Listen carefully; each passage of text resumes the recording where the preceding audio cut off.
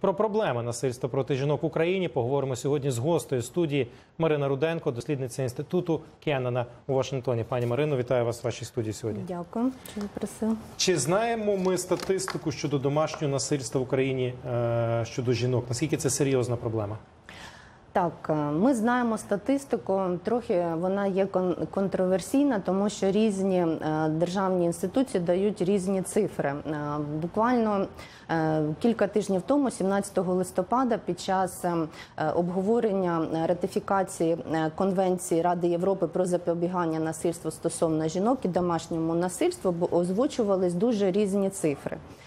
Тобто були присутні представники органів влади, які говорили, що цифри є від е, 80 до 150 тисяч щороку. Це є звернень від жінок до а, е, поліції щодо е, фактів домашнього насильства. Наскільки ці цифри Коли- відображають е, А, реальний так, стан? але е, експерти кажуть, що насправді реальні цифри можуть бути в 10 разів більше.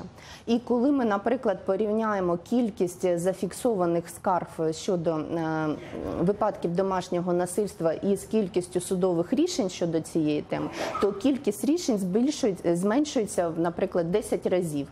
Ну, цифри різні рік від року, але близько е, зменшується в 10 разів. Тобто виникає питання, що відбувається е, з тим.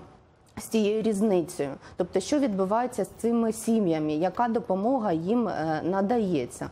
Тому дуже важливо, якби щоб держава працювала е, не тільки на покарання кривдника, а і на упередження, попередження е, актів насильства. Я знаю, що ці, ці всі інструменти могли бути прописані у в конвенції, Стамбульській конвенції про запобігання насильству, яку е, так і не ратифікували в Верховній Раді. Перед ефіром ви назвали, що це є інструментом гібридної війни Росії проти України. Як насильство проти жінок є інструментом гібридної війни Росії проти України? Ну, необхідно трошки повернутися е, на кілька років назад, 2010-2011 році. Е, В Україні діяла ціла мережа такої е, гро- громадської ініціативи Батьківський комітет. Вона називалась. Її очолював Ігор Друсь, е, який ходив на ефіри.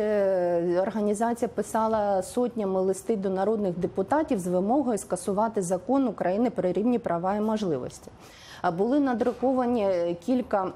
Видів величезними накладами близько 20 тисяч. Уявіть для книжки в Україні 20 тисяч це величезна цифра е, е, про маніпуляцію щодо поняття гендер. Тобто, фактично застосовувались такі маніпулятивні технології, трошки правди і дуже багато брехні, трошки правди і багато маніпуляцій. Для чого? Для того, щоб нав'язати суспільству небезпеку е, гендерної рівності, прив'язати поняття гендеру до там сексуальної орієнтації, до е, якихось там е, збочень, е, і сформувати негативне ставлення і в суспільстві, і серед тих, хто приймає рішення в даному випадку народних депутатів. Е, Тому під час обговорення багато було е, ну таких звернень, що нащо нам ці гендери? В нас гендера немає. Ну це якби такі, якби схожі раніше в радянському союзі не було там е, сексу, наприклад. Да, то зараз у нас гендеру немає. Хоча це абсолютно е, соціальна е, ознака, не прив'язана до е, там. Е, Сексуальної орієнтації і не є синонімом статі. Тобто Конвенцію пот- е, да. І цікавий момент, що потім це Ігор Друсь, він був прес-секретарем Гіркіна. Тобто е, зараз він працює, як от я е, собі роздрукувала, він є головою Народного собору України та Новоросії. Тобто це виключно була технологія ФСБ Росії. Навіщо Росії е, заважати Україні А, тому що, захищати права а, жінок? е, Ну, е, гендерна рівність це не тільки про права жінок, і не потрібно прив'язувати домашнє насильство виключно як якісь е, жіночі справи. Е, Це є проблема суспільства, є проблема чоловіків.